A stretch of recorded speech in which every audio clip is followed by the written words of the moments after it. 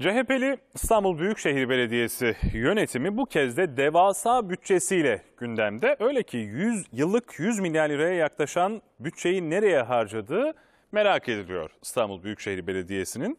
Ama bu konuyla ilgili sorulan sorulara da henüz ikna edici bir yanıt vermiş değil.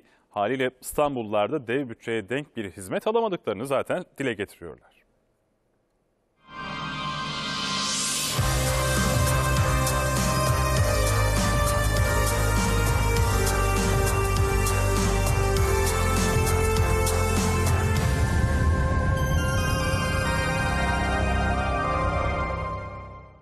Yaklaşık 100 milyar liralık bütçeyle birçok ülkenin bütçesine denk bir güce sahip olan İstanbul Büyükşehir Belediyesi yönetimi şimdi de kaynaklarını nerelere harcıyor sorularıyla karşı karşıya. yaklaşık 120 ile 139 milyar arasında bir bütçe kullanmış Büyükşehir Belediyesi. Tabii bunu maaş ödedi, elektrik ödedi, su ödedi bunlar herkes ödedi. Ancak biz şunu soruyoruz. Diyoruz ki siz 139 milyara varan 120 ile 139 milyar arasında bir bütçe kullandınız. İstanbul için ne ürettiniz? e, İller Bankası'na gelen gelirle beraber 95 milyara yakın bir bütçesi var. Dolayısıyla devasa bir bütçe ve bu bütçe İstanbul'a hizmet etme noktasında insanın elini rahatlatacak bir bütçe. Dolayısıyla devasa bir paranın döndüğü iki, yıl, iki yılı görüyoruz. Ama ortada bu iki yılın devasa parasının bütçesinin karşılığını ne yazık ki fiziki olarak görme şansımızı daha henüz elde etmiş değiliz. 43 milyar borcu var. Normal gelir sermayesinin bir buçuk katına artmış. Yani borçlanma limiti bitmiş artık.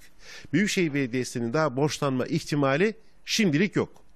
Mevzuat gereği, yasa gereği borçlanamaz. İBB yönetimi kısa bir süre önce yeni borçlanma yetkisi talep ederek tepkileri yeniden üzerine çekti. Durum böyle olunca da yaklaşık 121 milyar lirayı nereye harcadığınız sorusu daha güçlü bir şekilde sorulmaya başladı. İstanbul trafiği hala mevcut yoğunluğunu ve üstüne koyarak devam ediyor. Böyle bir projeyle karşı karşıya değiliz. Bakınız hala metro, tramvay ve metrobüs duraklarının hala yığınlar, kalabalık yığınlar halinde devam ettiğini görüyoruz.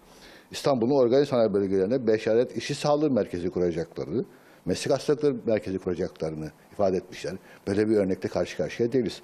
İstanbul'a 150 mahalleye kreşler açacaklarını söylemişlerdi. Bugüne kadar böyle bir icraatı henüz daha görmüş değiliz. Bu borçlandığı paralarla hangi yatırımı yaptı?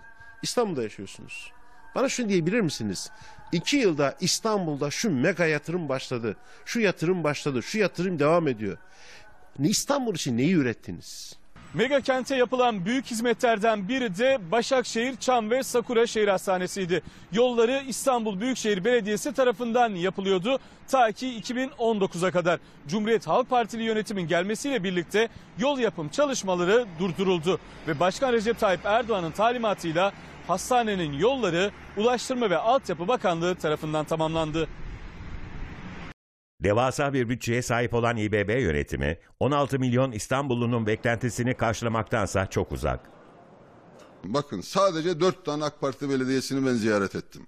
Beyoğlu Belediye'mizi ziyaret ettim. Üsküdar Belediye'mizi ziyaret ettim. Ümraniye Belediye'mizi ziyaret ettim. Kağıthane Belediye'mizi ziyaret ettim. Bizim sadece bu dört belediyemiz 3 milyar 945 milyonluk bütçeyle 187 proje yapmışlar. Bu projelerin listesi de burada. Elimde onu tutuyorum. Yani işte Üsküdar Belediye'mizle yapmış. Bunlar şey değil. Yani çeşmelere musluk takmamışlar. Efendim lojmandan, sağlık tesislerinden, aile merkezlerinden, Hızır acil servislerden, efendim e, on- 12 tane parktan, 45 tane parktan bahsediyoruz. Başka bir ajandaları var. Halkla ilişkiler oyunlarıyla ve algı ve manipülasyonlarla, illüzyonlarla bu kenti yöneteceklerini zannediyorlar. Buradan sizin Arazi İşleri Bakanlığı'na buradan e, e, açık açık e, beklentimi ifade etmek isterim. Özellikle İstanbul bütçesinin nereye aktarıldığıyla ilgili e, devletimizin, hükümetimizin mutlaka bir disiplin halinde incelemesinde fayda vardı kanaatindeyim. Biz, ben- bizim böyle bir endişemiz de vardır. Acaba buradan İstanbul kimi besliyor ve kimleri besliyor bu manada? 85 kuruşa devlet malzeme ofisi maske satarken 3 küsür liraya gidip maske satın aldılar. Sonra maskeyi satın aldıkları kişi Küçükçekmede CHP teşkilatında görevli çıktı. Ve maskeyi nasıl savundular? Bu maske bizim maskemiz suya karşı da dayanıklı dediler. İşte İstanbul'un bütçesi O aradaki fark nerelere gidiyor? Buraya gidiyor. Bütçesi yetmediği gerekçesiyle İstanbul Büyükşehir Belediyesi tarafından durdurulan bir diğer proje ise Metro Kent ve Kayaşehir metro hattıydı. Halkın hizmetine açılacak olan bu projede Ulaştırma ve Altyapı Bakanlığı tarafından yapılıyor. CHP adayı Ekrem İmamoğlu 2019'daki yerel seçimlerde HDP, Saadet Partisi ve İyi Parti'den destek aldı. Bu durum akıllara hesabı verilemeyen dev İBB bütçesinin ittifak ortaklarına aktarılıp aktarılmadığı sorusunu getirdi. Muzaffer Er Yılmaz. Çankaya, CHP'li Çankaya Belediye Başkanı'ydı. Bir ifadesi, bir itirafı vardı. Reklam arasında bir şey söylüyordu, bir yayına çıkmıştı. Diyordu ki, yamyamları doyuramıyorum. İşte İstanbul'da bir zillet ittifakıyla gelip İstanbul'u teslim aldılar. Şimdi o bütçeyi yamyamları doyurmaya harcıyorlar. Yatırımlar durmuş, kaynaklar israf edilmiş. Öbür taraftan rutin işlerini de döndüremez hale getirecek. Korkarım İstanbul Büyükşehir Belediyesi bizi o 25 yıl öncesindeki o tarihi karanlık tablolara doğru taşıyor. Ve İstanbullular. Onlar yaklaşık 100 milyar liralık yıllık bütçesi olan İBB yönetiminin hizmetinden tatmin oluyorlar mı? Hiçbir şey yapmadı. Suya zam yaptı.